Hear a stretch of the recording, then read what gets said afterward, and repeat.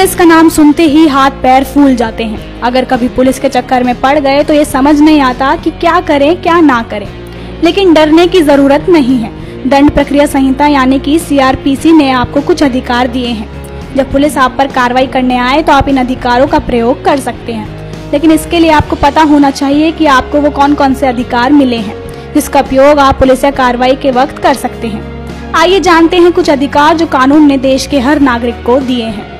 जब पुलिस आपको गिरफ़्तार करने आए तो सीआरपीसी की धारा 50 के अनुसार आपको अधिकार दिया गया है कि आप पुलिस से अपनी गिरफ्तारी का कारण पूछ सके और पुलिस को यह कारण बताना भी पड़ेगा। आपको गिरफ़्तार करने के लिए जो पुलिस अधिकारी आया है, उनका वर्दी में होना आवश्यक है। साथ ही उनकी वर्दी पर उनका नेम प्लेट भी होना चाहिए और उस पर साफ़ साफ़ शब्दों में पुलिस अधिकारी का नाम लिखा होना चाहिए। सीआरपीसी की धारा 50 ए के मुताबिक गिरफ़्तार किए व्यक्ति को अधिकार होता है कि वो अपनी गिरफ्तारी की जानकारी अपने परिवार को दे सके। अगर वो देने में असमर्थ है तो पुलिस को खुद उसके परिवार को जानकारी देनी होगी। सीआरपीसी की धारा इकतालीस बी के अनुसार पुलिस को एक अरेस्ट मेमो तैयार करना होता है, जिसमें गिरफ़्तार करने वाले पुलिस अधिकारी की रैंक, गिरफ़्तार करने का टाइम और पुलिस अधिकारी के अतिरिक्त वहाँ मौजूद प्रत्यक्षदर्शी के भी हस्ताक्षर होते हैं। इस मेमो में गिरफ़्तार किए गए व्यक्ति से भी हस्ताक्षर कराना अनिवार्य है। सीआरपीसी की धारा चौवन के मुताबिक गिरफ़्तार किया गया व्यक्ति अगर मेडिकल जाँच की मांग करता है तो पुलिस को उसकी मेडिकल जाँच करनी होगी। मेडिकल जाँच करने का फ़ायदा ये है कि अगर आपके शरीर में कोई चोट नहीं है तो कस्टडी में अगर आपको कोई चोट लगती है तो उसकी ज़िम्मेदारी पुलिस की होगी और ये आपके पास पुलिस के खिलाफ एक सबूत होगा। कानून के मुताबिक गिरफ़्तार किए गए व्यक्ति की हर 48 घंटे बाद मेडिकल जाँच कराई जानी चाहिए। सीआरपीसी की धारा सत्तावन के मुताबिक पुलिस किसी व्यक्ति को 24 घंटे से ज़्यादा हिरासत में नहीं ले सकती है।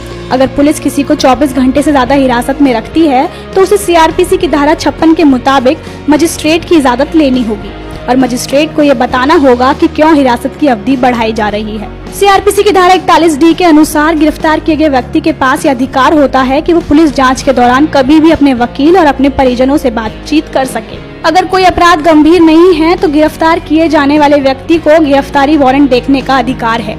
लेकिन अगर अपराध गंभीर है तो पुलिस बिना वारंट भी गिरफ़्तार कर सकती है। भारतीय दंड संहिता ने महिलाओं को कुछ विशेष अधिकार दिए हैं। सीआरपीसी की धारा 46 ए के अनुसार किसी भी महिला को सूरज डूबने के बाद और सूरज निकलने से पहले गिरफ़्तार नहीं किया जा सकता। लेकिन अगर कभी ऐसी परिस्थिति आई कि महिला को रात में ही गिरफ़्तार करना होगा तो पुलिस को एरिया मजिस्ट्रेट से इजाज़त लेनी होगी। सीआरपीसी की धारा 46 के मुताबिक महिला को केवल महिला पुलिसकर्मी ही गिरफ़्तार कर सकती है। कोई पुरुष पुलिसकर्मी किसी महिला को हाथ नहीं लगा सकता। सीआरपीसी धारा पचपन एक के मुताबिक गिरफ़्तार किए गए व्यक्ति की सुरक्षा और स्वास्थ्य का ख्याल पुलिस को रखना होता है।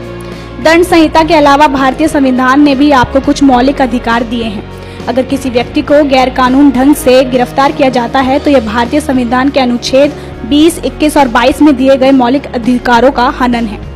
संविधान के अनुच्छेद 20 के अनुसार एक व्यक्ति को एक अपराध के लिए सिर्फ़ एक बार सजा होगी। अपराधी को अपराध करते वक्त जो कानून है उसी के हिसाब से सजा मिलेगी। अपराध करने के बाद अगर कोई नया कानून बना तो उसके हिसाब से सजा नहीं हो सकती। पुलिस किसी भी व्यक्ति को खुद के खिलाफ गवाही देने के लिए बाध्य नहीं कर सकती।